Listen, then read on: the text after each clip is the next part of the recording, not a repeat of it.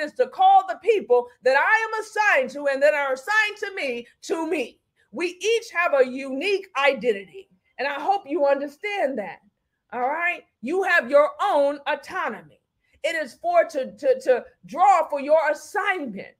It is for your purpose. When God says that He formed you in your mother's womb, all right, He knew how you were going to look. Your skin color is not by accident, whether you're light or dark. You may have gotten uh, teased for being a certain way. You may have your nothing is wasted in God.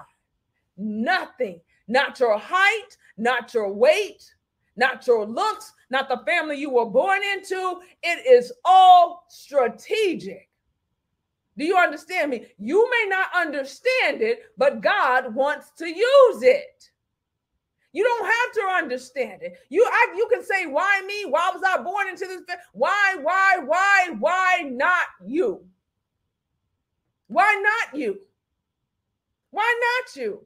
Everything about you is unique to you and it is for a specific purpose. Somebody is going through a similar situation as you. Somebody looks similar to you and they're going to be drawn to you. Do you understand that? They're going to be drawn to the essence of you. They're going to be drawn by your words. They're going to be drawn by the Holy Spirit that's in you. Do you understand me?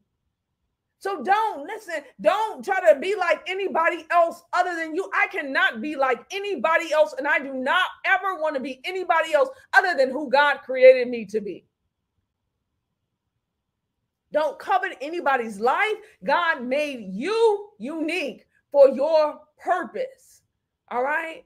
God did not. Uh, it's people that try to make us all cookie cutter and look alike. That's that's the mind of people. That's the mind of cults. That's the mind of people who are used to being enmeshed. God, do you understand? God created the rainbow. Do you understand? There are different races and ethnicities and and and, and different flavors.